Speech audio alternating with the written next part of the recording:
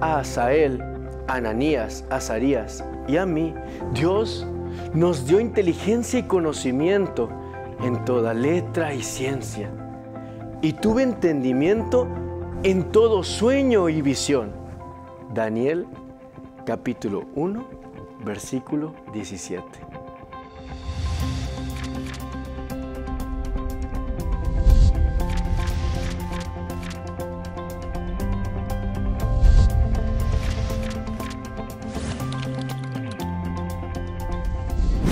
Bienvenidos nuevamente a nuestro programa Escuela Sabática Universitaria. Vamos a continuar estudiando el libro de Daniel, Daniel, profeta del fin. Quiero darle una bienvenida a nuestros compañeros. Gracias, por estar con nosotros. Y vamos a abocarnos ahora a estudiar de Jerusalén a Babilonia. Ya es ahí en la lección pasada, en el estudio, en las lecciones que repasamos de vida, que encontramos en el libro de Daniel, hizo algo de referencia a este asunto y hoy vamos a tratar de profundizar más en este aspecto de este contexto que nos ofrece el capítulo número uno del libro de Daniel. ¿Qué cosas podemos encontrar ahí? Y por supuesto, antes de hacerlo, debemos pedir la dirección del Espíritu Santo. Y queremos pedirte, por favor, Isaí, si eres tan gentil y nos diriges en una oración para pedir que sea el Espíritu Santo quien nos acompañe en este estudio de la Biblia. Desde oremos. Amante Padre Celestial, te estamos agradecidos porque podemos abrir tu palabra y adentrarnos en el estudio del libro de Daniel. Por favor, Señor, te imploramos que tu Espíritu Santo abra nuestras mentes al entendimiento de estas cosas, no solo de nosotros, sino también de los que nos acompañan a través eh, de la televisión, del Internet, para que las palabras que están aquí puedan ayudarnos en nuestro día a día a conocerte un poco más. Te lo pedimos en el nombre de Jesús. Amén. Amén. Muy bien, entonces ahora ya estamos entrando así en lo que es la lectura del libro en sí y empezamos con el libro de Daniel, capítulo 1. Básicamente vamos a movernos en, en ese estudio. Empecemos abordando este asunto de la soberanía de Dios.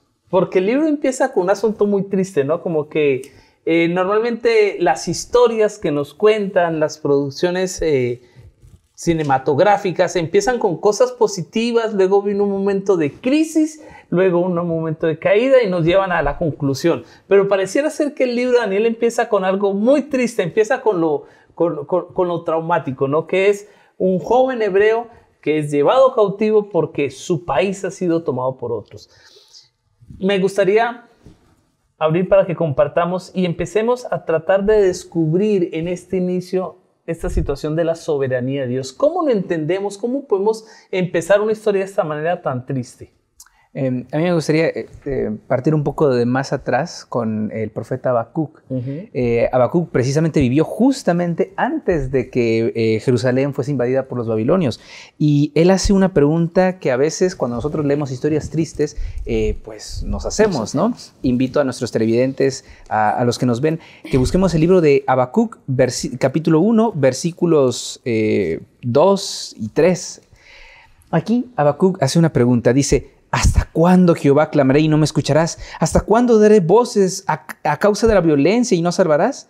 ¿Por qué me haces ver tanta iniquidad y tanta maldad? Solamente destrucción y violencia están delante de mí, y pleito y contienda se levantan. Y en el, capítulo 2, Jehová le responde a Habacuc y le dice en el versículo 2, escribe la visión y declárala en tablas, para que corra el que leyere en ella. Aunque la visión tardará aún por algún tiempo, se apresurará hacia su fin, no mentirá, aunque tardare, espéralo, porque sin duda vendrá y no tardará. Eh, cuando leemos el libro de Daniel, hay que tomar en cuenta que a veces, aunque surja la pregunta, ¿por qué Dios permite las cosas malas? ¿Por qué, ¿Por qué, Dios permitió el cautiverio babilónico? ¿Por qué permitió que tal vez la familia de Daniel murió en, aquel asedio? ¿no? Quizá nunca más volvió a ver a nadie de su familia, de sus amigos, de sus vecinos. ¿Por qué Dios permite todas estas cosas? Bueno, eh, lo permite primeramente para demostrar que el gobierno que ejerce Satanás, que el gobierno que ejercen los seres humanos, no es el correcto, que el gobierno correcto es el suyo, que cuando Él sea el soberano, las cosas realmente empezarán a marchar bien. Y número dos, para enseñarnos que a pesar de todas las malas cosas, a pesar de que como Habacuc estaba viendo a su alrededor guerra, destrucción, pleitos, contiendas, la visión escrita en las tablillas era la visión que iba a perdurar. Y aunque parezca que Dios no está respondido, Dios está trabajando en medio de la, de la adversidad, en medio de la crisis, para enseñarnos cosas. Y a pesar de que creamos que no está haciendo algo, está allí, no tardará. Sí, me gustaría que leyéramos en el libro de Daniel, para ponerlo en contexto, el capítulo 1, porque hay una, una parte aquí que creo que es importante, ¿no? Versículo número 2. Y el Señor entregó en su mano a Joacín. ¿A quién se lo entregó? Versículo 1 lo dice. A Nabucodonosor, rey de qué? Rey de Babilonia, ¿no? Eh, se me hace importante que sentemos un principio, que muchas veces cuando enfrentamos desafíos, cuando hay problemas, no es porque Dios no esté al control, sino porque a veces las circunstancias en las que nosotros mismos nos ponemos permiten que Satanás pueda lastimarnos. Si nosotros estudiamos la vida del pueblo en estos momentos, era un pueblo que se había apartado de Dios, había rechazado la protección de Dios. Y entonces Dios determinó que, bueno, tú no quieres mi protección, voy a dejar que Satanás haga lo que él quiere hacer, que es que someternos. Pero para el judío, lo bueno y lo malo venía de mano de Dios. O sea, para él, él no tenía problema con decir fue culpa de Dios, porque así pensaban ellos. Por eso dice que, que, que Jehová lo entregó. No fue que Dios le dijo, mira, aquí está, agárralo, llévatelo, ya no lo quiero. No, Simplemente Dios retira su protección porque el pueblo decidió, ¿no? y Él respeta nuestro, nuestro derecho a elegir y lo vamos a ver más adelante. Entonces, quizás eso para poner un poquito el contexto en el cual vamos a ver toda esta historia interesante y donde vamos a poder ver que definitivamente Dios sigue, ¿qué? sigue en control. Ahora, ¿cuál fue realmente la prueba para Daniel y sus compañeros? Las, Damas, apóyennos con eso. Aquí en este asunto de esa fe que está bajo presión, ¿cómo lo ven ustedes? ¿Cómo lo, entendieron en este estudio? Bueno, nos encontramos con jóvenes que están saliendo y se están encontrando en una tierra desconocida totalmente para ellos. Entonces, una prueba de fe que ellos pudieron enfrentar fue en el momento donde ellos eh, aquellos nombres que fueron dados por sus padres para recordarles quién era su Dios, darles identidad, darles un propósito también en la vida, pues ahora son cambiados por nombres babilónicos que en sí este, lo que querían hacer era cambiar totalmente la cosmovisión que ellos tenían, sin duda, cambiar ese, esas ideas, esos principios que ellos tenían, ahora al transformarlos, el educarlos a una cosa totalmente diferente a lo que ellos estaban, estaban viviendo, ¿no? Entonces, una, una prueba es sin duda son los nombres, sin duda son los nombres. Y, yo me, ponía a reflexionar en esto y yo decía, ¿qué tan importante pudo haber sido para ellos? Porque, como bien dice un dicho, ¿no? el, estar en, tierra, en tierra ajena es, pues puede ser una persona totalmente diferente. Entonces, la prueba era el quedarse, aferrarse a sus, a sus valores. Claro, que este asunto de que le cambiaran el nombre no los cambiara a ellos, no mantenerse aferrado a la fe. ¿Qué, ¿Qué, otro elemento podríamos mencionar? Bueno, haciendo mención de lo que dice Fanny, esta era una oportunidad, ellos estaba, no sabían qué iba a pasar, o sea, cada, cada momento era nuevo para ellos. Al decirles, bueno, ya no te vas a llamar así, ahora te vas a llamar de esta manera, ellos tuvieron la oportunidad de sacar provecho de eso. En su mismo temor a qué iba a pasar, pudieron adaptar, pudieron haberse adaptado totalmente ah, bueno, ahora ya tengo una nueva identidad, pues me hago con los que estoy, porque está en riesgo mi vida. Ellos, a pesar de que no sabían qué venía después, se mantuvieron firmes cuando pudieron totalmente tenían la libertad de adaptarse y decir, ah, pues esta es una nueva vida que a poco no, no, les venía muy cómodamente. Ellos pudieron hacerse como los, como los del rey, más sin embargo, ellos eh, se mantuvieron firmes en sus creencias y pues empezaron a ver que sí y que no, iban a, adaptar o que iban a permitir que pasara en sus vidas. en Daniel 1.4 se nos dan muchas claves.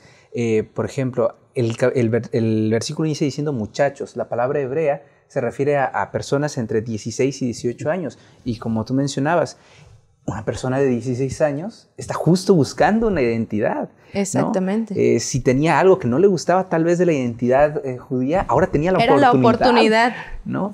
Este, y al final de ese mismo versículo dice que estaban para enseñarles las letras y lenguas de los caldeos. No dice babilonios, dice caldeos, porque caldeos es una palabra que significa eh, cartógrafo de estrellas. Los caldeos eran expertos en hacer mapas estelares, mapas de las estrellas. Y en esa hambre por no solo ser astrónomos, sino también ser astrólogos, ellos creían que los dioses y las estrellas dictaban el, patrón de la vida de todas las personas. Y entonces querían colocar nombres, estaban eh, con una ansia de colocar nuevas identidades en nuevas personas. Y se cree que Daniel y sus amigos y el grupo que llegó era parte de ese gran experimento que a los caldeos disfrutaban de hacer, de inculcar en nuevas mentes, inculcar en las mentes eh, de diferentes, eh, diferentes etnias eh, sus principios, sus valores, para ver cómo reaccionaban a, las, a los planes que ellos tenían en sus mapas estelares. Muy bien, definitivamente vemos que hubo mucha presión, ¿sí? Un asunto que tiene que ver con la identidad, ¿sí? Nuestra fe es nuestra identidad. ¿Cuál es tu fe? Esa sería la pregunta. ¿Cuál es tu identidad? Y ellos fueron sometidos y está el elemento también de la alimentación, ¿no? Como lo estudiamos, que tenía varias connotaciones, eran alimentos impuros, que Dios había ordenado que no se comieran, y también tenía un elemento religioso que era que al ser ofrecidos a los dioses, el que los tomaba de alguna otra manera reconocía ese sistema pagano y decía, bueno, si tú comes de la comida del rey, ¿qué estás diciendo? Estás diciendo que su sistema de oración es un sistema bueno, que lo adoptas y que lo respetas, ¿no? Y entonces aquí vemos a jóvenes que estuvieron dispuestos a identificar esos elementos que eran cruciales en su cosmovisión y que no podían, que no podían dejar de lado. Porque estudiamos que ellos no podían cambiar sus nombres, es decir, ellos no pueden decirle, no, yo no me voy a llamar así, pues así los iban a llamar. Pero había un elemento donde ellos sí decidieron ser fieles porque eso se hubiera alterado su qué, su fe. Ahí fue donde entró la prueba, ¿no? Y es interesante ver que a veces las pruebas nos agarran en elementos que en el momento pueden parecer intrascendentes o que podemos manipular pero como ellos estuvieron dispuestos a enfrentarlas. Muy bien, vamos a hacerle nuestra pregunta a nuestro experto. Y la pregunta que tenemos para nuestro eh, experto es, ¿cuál es la importancia del libre albedrío de Daniel que allanó el camino para que Dios actuara? ¿Y cómo debe impactar nuestra confianza en Dios en nuestras decisiones? Vamos a pedirle al experto que nos conteste esta pregunta y entonces vamos a seguir hablando acerca del capítulo 1 del libro de Daniel. Escuchemos a nuestro experto. Para contestar esta pregunta es necesario entender qué es el libre albedrío. Dice el diccionario que el libre albedrío es la facultad de obrar por reflexión y elección. Y es interesante que la versión Reina Valera, en este pasaje de Daniel 1, 8 y 9, dice que Daniel decidió no contaminarse, propuso en su corazón no contaminarse con la comida del rey. Y la versión, mm, la Biblia de Jerusalén, dice claramente, decidió no contaminarse. Daniel eh, estaba consciente de la libertad que Dios nos da, es nuestro privilegio, y el libre albedrío se trata de eso, de que Dios nos deja decidir y Él, aunque no esté de acuerdo, respeta nuestras decisiones. La decisión de Daniel, eh, la resolución de su corazón de no contaminarse, tenía una, base de conocimiento de los principios de Dios. Él sabía que en Babilonia no se comían eh, los animales eh, muertos conforme a la ley levítica, es decir, no se seguía lo que Levítico dice para matar los animales, no se desangraban. También se comían eh, animales, alimentos, carnes inmundas. También una parte de estas carnes era sacrificada a los ídolos y era en contra de las leyes de la temperancia. También cabe agregar que muchos otros jóvenes eh, hebreos fueron llevados a Babilonia con Daniel. No sabemos cuántos eran, ni qué decidieron ante los alimentos que fueron puestos a su mesa. Pero Daniel decidió bien y trascendió para su tiempo, para la historia de este mundo y para la eternidad.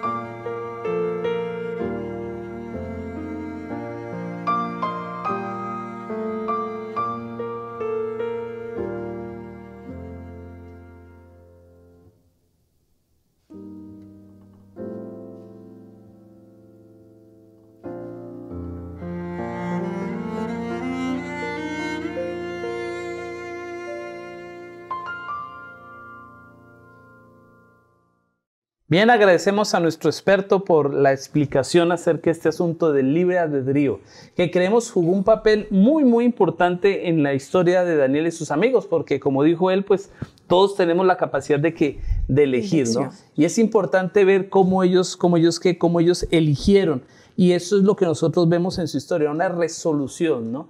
El ejercicio de su voluntad para vivir de la manera que ellos querían y decían vivir. No permitir que las circunstancias o el entorno condicionara lo que ellos iban a hacer o, querían creer. Muy bien. Creo que ellos tenían enfrente suyo eh, dos, caminos, ¿no? Como, yo decía en, el, estudio pasado. Daniel presenta un conflicto no solo entre dos partes, no solamente entre los judíos y los babilonios, no. Daniel quiere abrir el panorama y decir, hay aquí un conflicto de sistemas de adoración. Eh, el sistema de adoración trazado por los astros el sistema de, adoración de los caldeos o el sistema de adoración trazado por lo que dice la palabra de Dios, por eh, las especificaciones que, como decía el experto, están en el libro de Levítico sobre cómo tratar eh, eh, cierto tipo de alimentos. ¿no? Entonces ellos tenían que decidir, decidir estar firmes y ser valientes en cualquiera de los dos. Y a partir de allí habría consecuencias, claramente. No, y algo importante que, que, mm, estaba pensando ahorita que tú hablabas es el asunto de la importancia de, de, tomar decisiones, ¿no? Porque quizás el desafío que tenemos a veces es que queremos lo mejor de los dos mundos, ¿no? Que a veces queremos estar con lo de aquí, pero quedarnos con lo de acá, ¿no? Y ellos fueron confrontados, o es por este camino o es por este camino y ellos tomaron una decisión y vemos las consecuencias, ¿no? Muy bien, y esto nos lleva a este asunto de que ellos fueron denominados intachables y sabios, ¿sí? Pero fue una situación difícil definitivamente, ¿no? Quiero, quiero leerles lo que dice mm, eh, la segunda carta a los Corintios en el Nuevo Testamento, en el estudio que hicimos, eh, lo tenemos ahí, pero me, me gusta esto porque nos pone el contexto de ¿Cómo hacemos frente a estos desafíos? Segunda de Corintios capítulo 4 y vamos a leer el verso número 17. Dice así, segunda de Corintios 4, 17.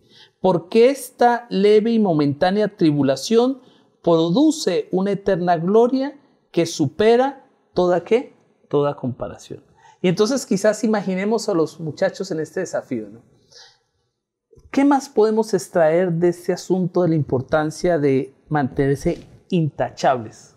¿Qué, más podríamos decir? ¿Hay otro elemento que ustedes crean que es rescatable de esta situación? Bueno, a mí me llama la atención el hecho de que ellos fueron llevados ahí para empaparlos o llenarlos de muchos conocimientos. Y algo que nos menciona es que dice que ellos sabían discernir qué iban a aceptar para aplicarlo y qué hacían como que sí lo acepto, lo escucho, pero no lo voy a poner en práctica. Entonces, como ellos estudiaban, recibían el conocimiento, pero tenían la capacidad para decir, ok, lo escucho, pero no estoy de acuerdo con él y no lo voy a poner en práctica. Muy bien. Y entonces tenemos un examen final. ¿sí? La historia, eh, y vamos a regresar al libro de, Daniel, termina con una evaluación que hace. Y lo impresionante es que, ¿quién les hace la evaluación? ¿Qué pues dice la Biblia? Que, ¿Quién les hizo la evaluación en, en el libro de Daniel? ¿Recuerdan? Pues el mismo Nabucodonosor les hizo la... Imagínense, fueron llevados por quién? Ante el mismo, no sé, ¿no? Eso es como que si estudias en una universidad y no vas a presentar un examen al director de tu facultad, sino que lo vas a presentar ante el presidente, ¿no? ¿Y cuál fue el resultado? ¿Cuál fue el examen final? ¿Cuáles fueron las consecuencias de este ejercicio de su libre albedrío, de este ejercicio de permitir que su fe fuera fortalecida en la prueba? ¿Qué fue lo que encontramos? El versículo 19 es muy claro, dice, el rey habló con ellos y no se hallaron entre todos ellos otros como Daniel, Ananías, Misael y Azarías. Demasiado claro. Otra parte que a mí me impacta muchísimo de esta parte del capítulo, del capítulo 1, es el versículo 20, porque aquí declara de que Daniel y sus compañeros eran 10 veces más en todas las áreas. A mí como estudiante de medicina eso me impacta muchísimo porque es la diferencia que hay entre que un compañero sacó 10 en un examen y el otro sacó 100. O sea, la diferencia es abismal, la diferencia es muy grande y todo esto eh, según, según nos relata el propio Daniel, se dio gracias a que decidió tomar eh, la determinación de avanzar por el camino trazado por la palabra de Dios. Sí, e, es muy valioso lo que tú dices, ¿no? Porque volvemos a lo mismo, lo mencionamos la vez pasada, podemos quedarnos con la historia, pero ¿quién está detrás de esa historia? ¿Quién es el héroe, no? Porque aquí vemos que a Daniel los vemos así como quien dice presentando el último examen ya con su birrete, con su toga, quizás listo, si viene la evaluación y ellos fueron los exitosos, ¿no? Pero no olvidemos lo que tú estás mencionando, que ese éxito que ellos tienen es porque ellos habían decidido que Dios iba a ser que el Dios de sus vidas. Las tres, los tres elementos importantes que encontramos y que mencionamos la vez pasada, ellos dicen, Dios, tú eres el Dios de mi vida. Dios, tú estás al control de mi historia. ¿Sí o no? Así y es. entonces ahí vemos ahí otro elemento importante que también lo encontramos en el estudio que hicimos, que es que Dios premia a aquellos que le son qué? Que le son fieles. ¿no? Y yo El- creo que eso es muy bonito, ¿no? El versículo 21 eh, tiene uh, un, un detalle importantísimo al respecto, porque dice que de esta manera Daniel continuó hasta el año primero del rey Ciro. Se refiere a que no solo continuó creyendo en Dios, siendo fiel a la palabra de Dios, sino también destacando en en cada área de su vida durante al menos hasta los 87 años de edad, que es cuando Ciro llegó al gobierno. Daniel pasó desde sus 16, 18 años hasta los 87 confiando y viendo en vida propia todas las cosas que dio, todas las puertas que Dios le abría, porque él tomó la decisión correcta. Muy bien. Ahora, la pregunta que quisiera hacerles es, ya vimos la historia, ¿no? Vimos algunos elementos de la historia. ¿Cómo traemos eso a nuestra vida? Es decir, ¿qué aprendemos para nosotros hoy de este asunto de pasar la prueba de nuestra fe, de nuestra fidelidad? ¿Y, cómo esperamos salir en ese examen? ¿Qué, qué lecciones podríamos traer para nosotros hoy? Creo que una lección muy importante es la identidad que debemos de tener como jóvenes, como personas, y esta identidad no va a salir de nadie más que de Dios entre más lo conozcamos. Estos jóvenes sin duda conocían a su Dios, sabían lo que podía hacer, sabían lo que había hecho en el pasado, y esa identidad que nosotros podemos tomar hoy en día al ver todas estas historias, pues puede también marcar un punto muy decisivo en nuestras vidas. En el momento que lo vemos aquí son unas pruebas tan pequeñas, pequeñas entre comillas, que marcaron definitivamente su historia. Entonces, la identidad que nosotros tomamos al tomar y al hacer nuestro Dios aquel, aquel Dios soberano en nuestras vidas. Como quien dice, debemos asumir esta identidad y no perderla, ¿no? No permitir que las circunstancias hagan que yo diga, bueno, yo soy así, pero como las cosas se van para acá, pues vámonos para este lado, ¿no? ¿Para dónde va Vicente? ¿Para dónde va la gente? ¿no? Como que mantener esa columna. Así O- es. Otro elemento que podrías compartir con nosotros. Bueno, yo creo que para que el resultado haya sido excelente, tuvo que ver todas y cada una de las decisiones que ellos tomaron, desde las muy pequeñas hasta las grandes decisiones. O sea, ellos no flaquearon en ninguna, porque la historia hubiera sido diferente si en una ellos hubieran decidido ceder, doblegarse, pero no encontramos eso. Claro, todo esto con la ayuda siempre, siempre de Dios. Y otra cosa que mencionaban, cuando tú decides aceptar y ponerte totalmente al servicio de Dios y que tu vida Él la dirija, como dice usted, Él nos premia. ¿El qué? Él puso gracia delante de estos jóvenes. Y así se le fueron abriendo y permitiendo muchas más cosas. Pero, o sea, con lo que yo me quedo es de que en las pequeñas decisiones seamos firmes y fieles para tener el resultado que ellos obtuvieron. En la cuestión de la comida, eh, el eh, apóstol Pablo presenta ¿no? Eh, al- algunas cuestiones al respecto de esto de comer carne, no comer, ¿no? Y en Romanos 14, en, todo el capítulo, ¿no? Habla acerca de precisamente este detalle. Eh, pero yo me quedo con, con lo que dice en el versículo 7 y el versículo 8 de Romanos 14. Eh, dice, finalmente, ninguno de nosotros vive para sí, ninguno de nosotros muere para sí, porque si vivimos es para el Señor y si morimos también es para el Señor. Así que hagamos lo que hagamos, nosotros somos del Señor. Entonces, estemos en, en- en la decisión, to- tomemos la decisión de eh, estar del lado de Dios, porque finalmente hagamos lo que hagamos, a donde quiera que vayamos, en el contexto en el que estemos, hay que recordar que somos embajadores de Dios, que lo que nosotros hacemos es una carta abierta a los demás para que aprendan más acerca de ese Dios que nos ama, acerca de ese Dios que nos quiere, acerca de ese Dios que va a venir un día a derrotar finalmente a Babilonia para llevarnos con él de regreso hacia la Jerusalén celestial. Muy bien, eh, para mí quizás el versículo más importante para mí, y lo quiero compartir con ustedes y con aquellos que nos están viendo, es Daniel capítulo 1, versículo 8. Y Daniel propuso en su corazón no contaminarse con la comida ni con el vino del rey. Por eso pidió al jefe de los eunucos permiso para no contaminarse. Dos elementos que llaman mi atención de Daniel. Primero, fue fiel, pero fue una fidelidad respetuosa. Él pide permiso. Él es una persona que no entra en controversia con su fe. No confronta, no busca, es que yo creo esto y si tú crees, no. Él, es respetuoso, pero yo creo que es la decisión más importante que debemos tomar. ¿A quién vamos a hacerle fiel? ¿Cuál va a ser nuestro, dónde vamos a poner nuestro corazón? Dice, Daniel propuso que en su corazón. Es una decisión que él toma en su corazón y que luego qué? Y que luego ejecutó. Y que como mencionas, efectivamente, son pequeños pasos, ¿no? Todos queremos terminar una carrera, quizás estudiar un posgrado, pero no podemos hacer eso si no pasamos por la primaria, ¿no? Entonces, como mencionas, ese proceso de la toma de decisiones es, es, muy bonito ver aquí cómo Daniel fue fiel y reconocer que las crisis vienen, ¿no? Porque recordemos, cuando ellos fueron llevados como cautivos, ellos iban como esclavos, perdieron todo. Como mencionaste, su familia no la volvieron a ver. Iban a una tierra conocida, idioma diferente, pero decidieron mantenerse fieles. Y entonces pienso que ese es lo que hemos mencionado son lecciones muy bonitas de este tramo de Jerusalén. ¿A dónde? A Babilonia, donde ahora sí el Señor se lleva a este jovencito y le permite en un país extraño, en una cultura extraña, llegar a aportar de una manera significativa, como vamos a verlo en las otras historias, no solamente para el reino de Dios, sino para los reyes, porque los reyes, vamos a estudiar, llegaron a valorar que, eh, a, valorar a Daniel como que, como hombre. Entonces yo pienso que eso es algo importante. Y nuevamente, que nosotros hagamos esa misma declaración de fe, no contaminarnos, mantenernos fieles.